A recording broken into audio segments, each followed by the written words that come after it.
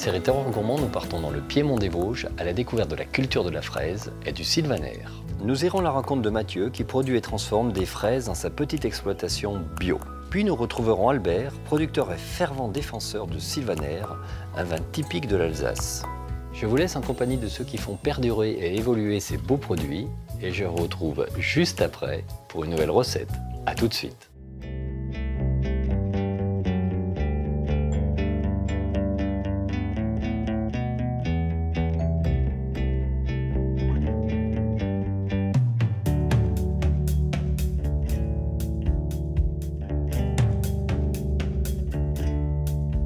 À l'extrême est de la France, l'Alsace s'impose comme une région au patrimoine culturel fort et à l'identité marquée. Chaque village fait honneur à la tradition. Le bâti aux multiples couleurs et les maisons à colombages dépaysent le visiteur de passage.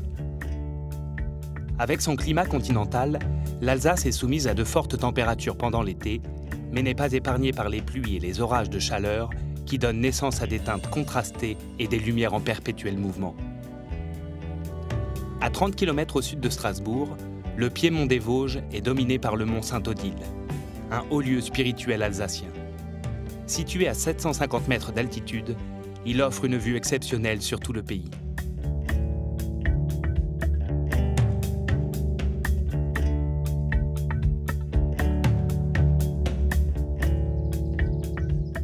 Ce territoire présente une grande variété de panoramas, ces plaines céréalières le long du Rhin sont dominées par les douces montagnes des Vosges et ces forêts exubérantes abritent la cascade du Howald.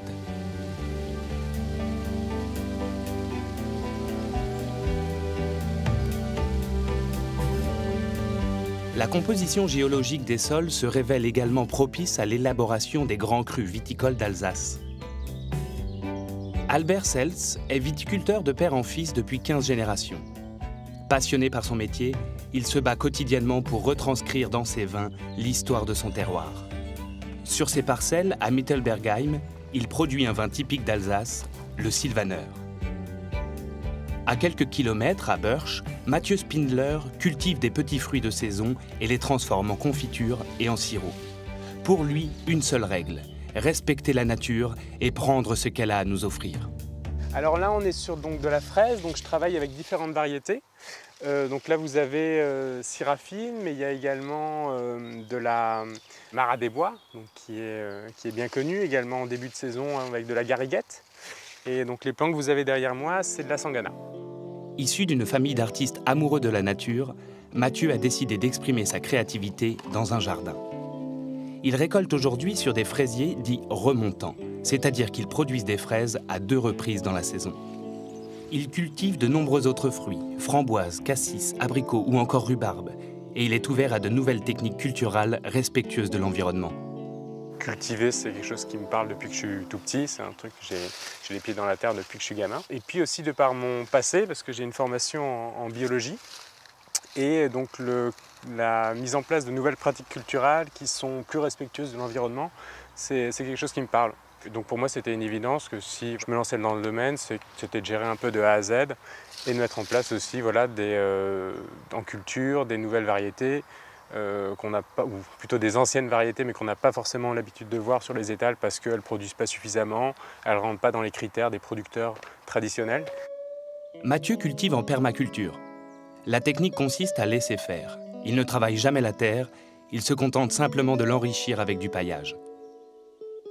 Euh, on va laisser faire un peu la nature, euh, parce que c'est l'idée aussi, c'est vraiment d'inscrire la production du fruit dans l'environnement avec le biotope, travailler avec euh, ben, ce que la nature nous offre, donc les, auxiliaires, des coccinelles aux hérissons, voilà. Quelle que soit la démarche, permaculture et d'autres d'ailleurs, maraîchage sur sol vivant, ce type de, de mouvement, c'est vraiment de préserver les sols. Donc on va les couvrir pour éviter qu'ils s'érodent, Là, on a vraiment euh, un principe fondateur, donc on va pailler, mettre également des engrais verts donc pour enrichir le sol. Donc c'est vraiment cette démarche-là euh, qui est mise en pratique ici. Le jeune agriculteur travaille à son rythme et n'a pas pour ambition d'agrandir sa production. Pour lui, le principal est de donner naissance à des produits de qualité, d'écouter la terre et de composer en accord avec la biodiversité. Un peu plus au sud, À Mittelbergheim, Albert Sels a lui aussi une approche de la terre bien à lui. Il respecte sa vigne et le terroir. Vigneron en agriculture biologique, Albert intervient très peu sur ses sols. D'abord, euh, en bio, ben, on a un sol qui est vivant. Euh, ça, c'est déjà très important. On peut mettre la main dedans. Et ensuite, ça va sentir, ça va sentir la vie. Ça sent la betterave, ça sent le sucre, ça sent. C'est tout ça qui va faire qu'à un moment donné, ben, le sol fonctionne, les racines vont pouvoir puiser toutes les choses qui sont essentielles justement à ce raisin, euh, qui fera qu'à un moment donné, ben, le vin sera différent. Voilà. Donc en fait, quand on a ça, eh ben, on découvre que ben voilà, on a un sol euh, eh ben, qui est travaillé naturellement par, euh, par le végétal. Et c'est ça où c'est bien. Alors, on peut se dire ouais, c'est pas propre, mais c'est propre. La vigne ne souffre pas, elle est verte. Euh, alors qu'on est déjà en juillet, il fait très sec. Donc normalement la vigne devrait souffrir. On découvre qu'en plus on a, on a une charge euh, ben, qui est juste raisonnable. Euh, ce qui veut dire qu'en fait, la, vigne est en autogestion et au moment de la récolte, on va pouvoir obtenir de beaux raisins qui vont donner un bon vin. Parce que pour avoir un bon vin, il faut du beau raisin. Il ne faut pas de la technologie ou toutes ces choses-là. Il faut un sol qui fonctionne, il faut une vigne qui soit en mesure de pouvoir prendre l'information et la restituer dans le raisin pour que le vin à la fin soit harmonieux. Comme une musique, le vin est une harmonie entre différents éléments. En véritable compositeur, le vigneron va jouer avec le climat, la terre, mais aussi avec l'énergie de la plante. La nature s'accorde avec les sols argilo-calcaires du Zotzenberg et permet au sylvaneur d'exprimer au mieux sa mélodie.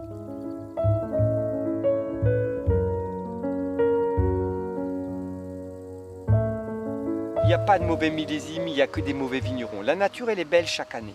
Donc en fait, euh, si tu as beaucoup de soleil, tu auras beaucoup d'alcool. Si tu as beaucoup d'alcool, tu as de la complexité. Si tu as des vins complexes, tu vas mettre des vins complexes sur des plats complexes.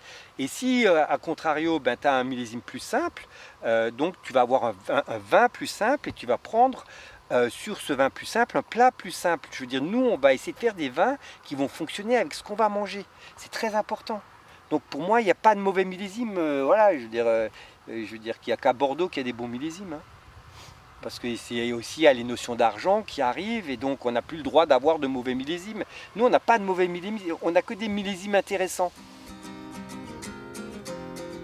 Avant de terminer la vérification de ces différents cépages, Albert rejoint son fils Jérémy, qui est en plein apprentissage.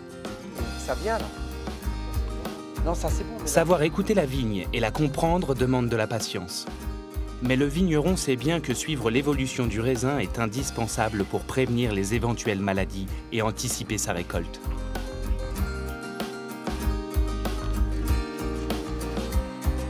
Le ramassage matinal des fraises s'achève pour Mathieu. Il se rend dans son laboratoire pour commencer la transformation de ses fruits en confiture. Il y a un peu deux, deux démarches qui se complètent. Euh, il y a la démarche locale déjà, on peut me retrouver à la boulangerie du coin, mais également dans les magasins bio et les épiceries fines euh, dans la région. Il y a pas mal de, distributeurs euh, effectivement qui sont sensibles à ce type de démarche, donc il y a de la demande à ce niveau-là, ça c'est sûr, et les consommateurs également. L'idée c'est aussi de faire de la vente directe, donc on a des chambres d'hôtes, ça permet aussi de, faire goûter les produits. Sur la transformation, c'est pareil, c'est faire à la main, petit, un peu comme ce qu'on peut faire à la maison. Euh, c'est conserver en fait cette qualité bah, qu'on a pu goûter chez nos grands-mères par exemple.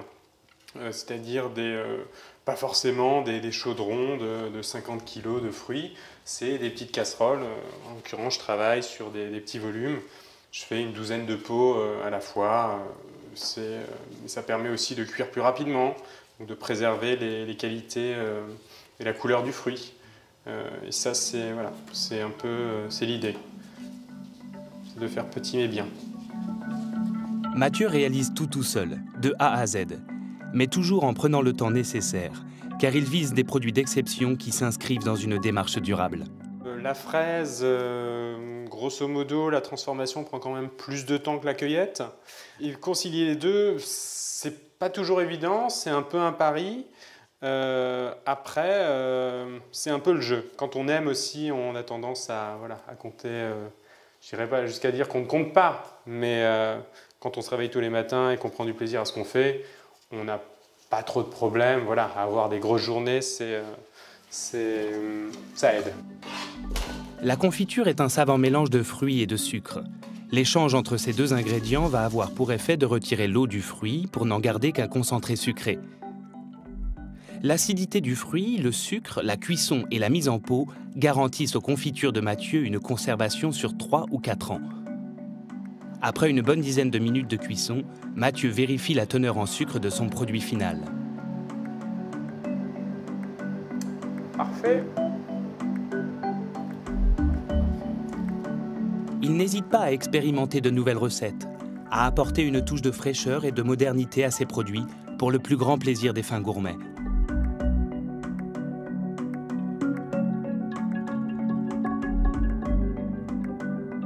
À Aubernais, Janine Strom et son frère ont ouvert en 2015 une boulangerie 100% sans gluten. Ils travaillent principalement avec de la farine de riz, ce qui permet aux intolérants au gluten de profiter d'une véritable boulangerie-pâtisserie proposant des produits variés. Ici, on transforme avec originalité les produits des artisans locaux, comme les confitures et les fruits de Mathieu. Ah bah, les fruits euh, de Mathieu, bah, ils sont, euh, sont riches en saveurs. Selon les variétés, il y a vraiment une différence qui est marquée. Donc, euh, puis on, sent l'amour du, du, fruit, c'est-à-dire qu'il connaît ses fruits par cœur. Il connaît même euh, leur histoire euh, parce qu'ils ont, il y a des pieds qui sont là depuis des années et des années. Et puis tout ce qu'il fait, c'est vraiment juste de la pure création avec ses confitures à la tomate, euh, églantine et tout ça. C'est vraiment fantastique. Janine Strom est l'une des rares professionnelles de la région à pouvoir se fournir en fruits bruts chez Mathieu. Oh, fantastique, tu m'as ramené des fraises. Oui, les fraises, les fraises du jardin, toutes mmh, fraîches, cueillies ce matin. On va faire des super trucs avec. Bah, J'espère bien. Mmh, des bonnes tartelettes. D'ailleurs, j'en ai, j'en ai, j'en ai fait ah des oui, nouveautés. Avec les, Je t'en avais parlé. Ouais. tu vas voir, c'est exceptionnel. J'attends de voir ça. Alors, tu as deux versions. Mmh. Tu as une Linzer Torte, c'est une spécialité alsacienne, mais revisitée, avec ta délicieuse confiture de fraises. Mais là, en dessous, on a mis un pesto de menthe aux noisettes. Ah, bien. Mmh. Donc ça, c'est la version, version nature. Et après, c'est la même chose, mais avec une ganache montée à la vanille, au chocolat blanc et à la menthe. C'est les classiques. Mais elles sont magnifiques tes fraises, non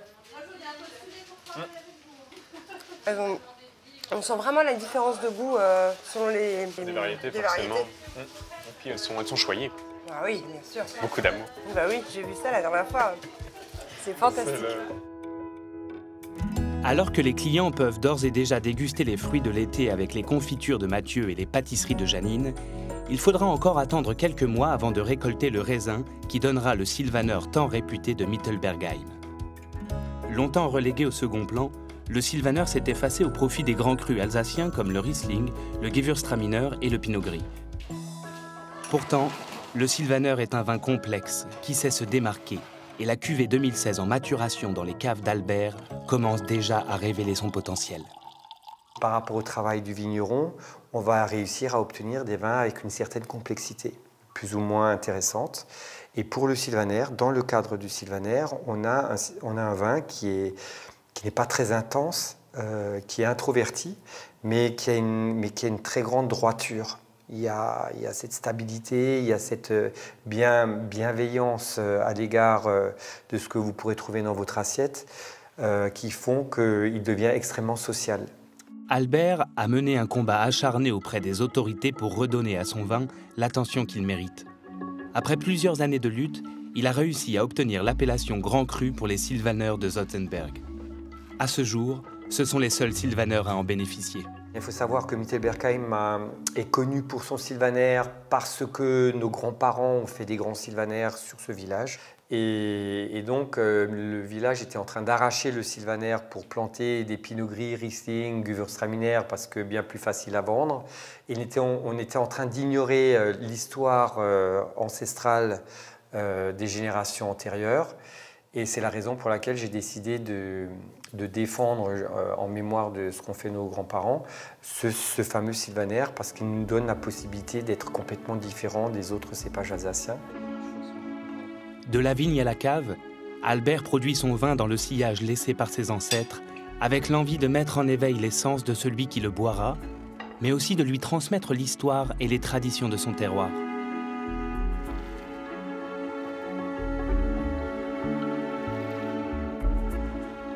Pour les visiteurs curieux d'en savoir un peu plus sur les vins d'Alsace, Albert organise personnellement des visites à la cave. Il donne ainsi les clés pour comprendre les subtilités de ces différents vins.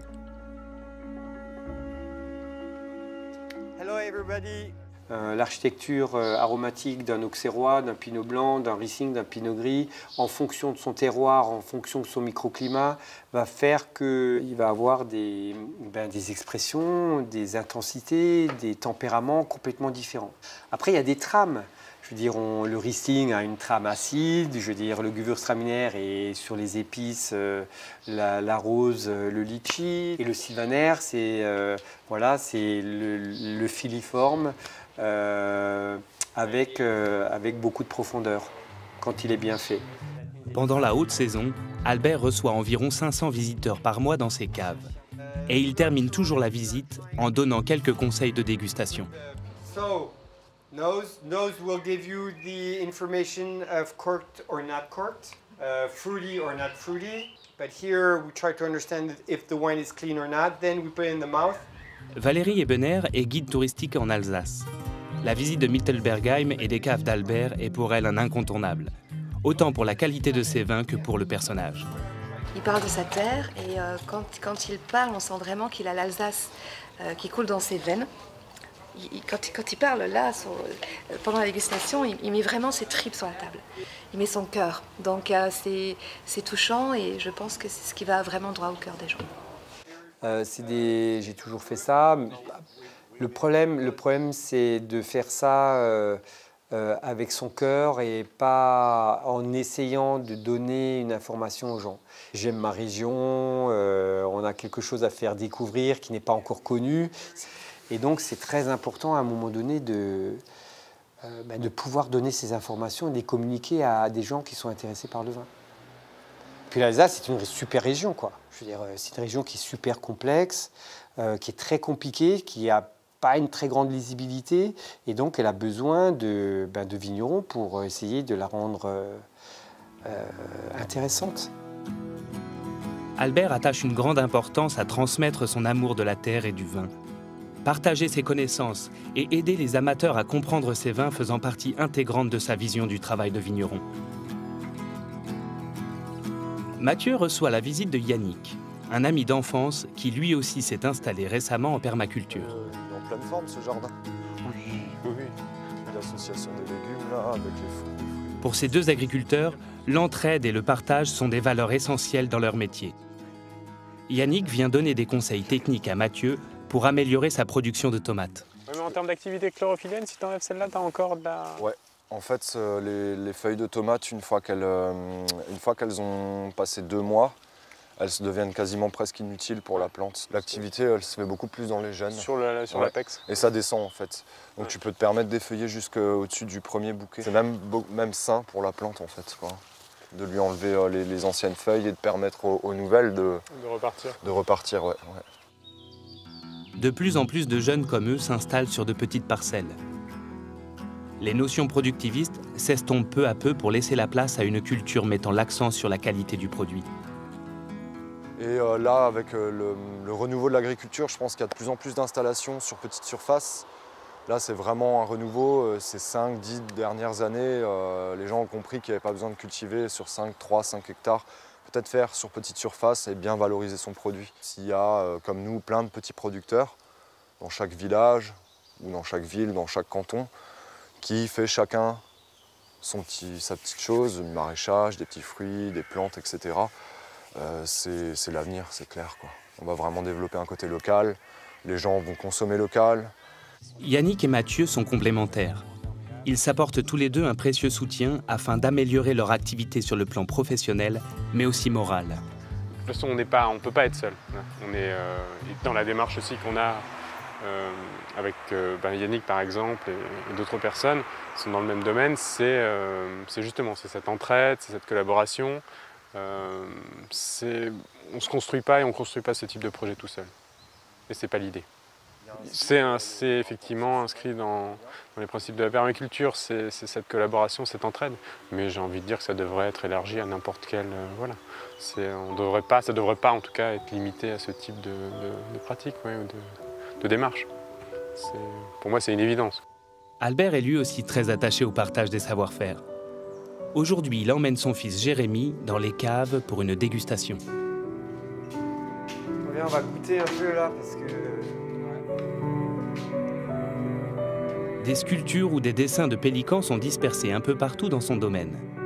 Dans le bestiaire religieux, cet animal représente le don de soi et la renaissance.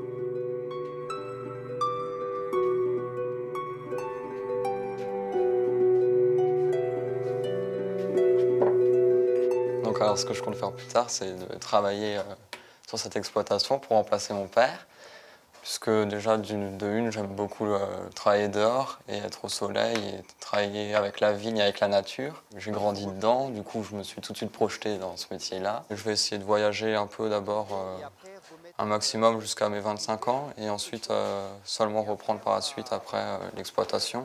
essayer aussi d'apprendre un maximum l'anglais pour pouvoir accueillir la clientèle car c'est aussi super sympa de pouvoir faire ça, de montrer notre, notre, notre patrimoine qui a été construit de d'année en année. En attendant de se perfectionner en Californie et en Nouvelle-Zélande, Jérémy souhaite faire une formation pour apprendre la culture en biodynamie. Mais pour le moment, son apprentissage se fait dans la cave avec son père. Donc c'est quoi Ça commence fruité Donc c'est fruité, ben, ben C'est salin. Voilà, c'est fruité, c'est gras. Ouais. On a cette sensation de sucre et en fait qui finit complètement qui a asséché. Voilà. Ce côté salin qu'on a, je veux dire, euh, une fois que le sucre est passé, on découvre que la bouche salive. Et, écouter ce que la bouche a à dire, c'est super important. Et une fois qu'on a compris ce mécanisme, eh ben, ça nous permet de savoir, par exemple, que ce vin fonctionnera très bien avec le foie gras. Chose que normalement on ne fera jamais avec un sylvaner. Tu vois donc le travail, euh, le travail en Alsace, il y a sept cépages, euh, chacun a sa personnalité, mais le sylvaner, quand il est bien fait, est absolument un grand vin. Et notre rôle à nous, à Mittelbergheim, et chez nous en particulier, chez Albert Sels, c'est justement de pouvoir prouver que le sylvaner est un cépage qui a la possibilité de s'exprimer sur la très belle gastronomie. Albert et Mathieu ont dédié leur quotidien à l'élaboration de produits d'exception. À l'écoute des autres et du patrimoine de leur région, ils savent travailler en symbiose avec leur terroir. Confectionnent ainsi des produits originaux avec du caractère, à l'image des paysages qui les entourent au cœur du Piémont des Vosges.